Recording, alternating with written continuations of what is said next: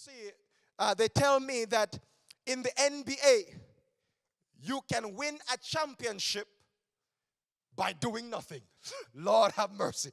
You see, they tell me that it's hard to get an NBA title without an all star, though.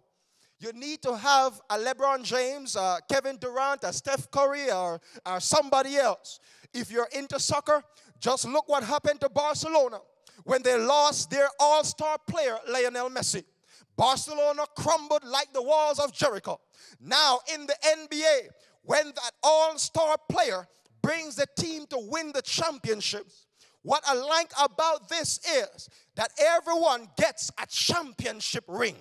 Even if they sat on the bench the whole season, they sat on the bench, but they still got championship ring.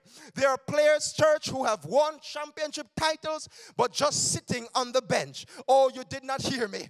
I said, when an all star wins a championship, the victory of the all star player is for the entire team, even those who sat on the bench. Well, a few years ago, there was an NBA championship on a hill called Calvary. God, the coach, decided to hire an all star player. They call him Jesus. Jesus, the bright and morning star. We did not do nothing. We did not do anything to get the victory, but we just sat on the bench while the all star was getting beaten. We were seated.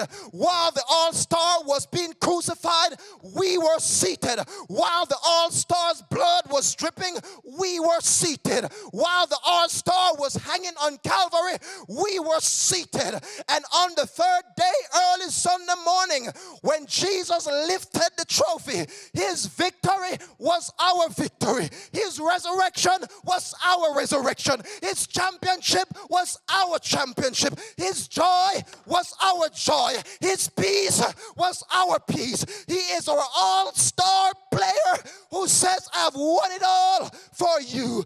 Keep sitting, keep looking, keep following, keep surrendering because we have an all star player. Jesus the Christ, who says, I have gotten the victory for you.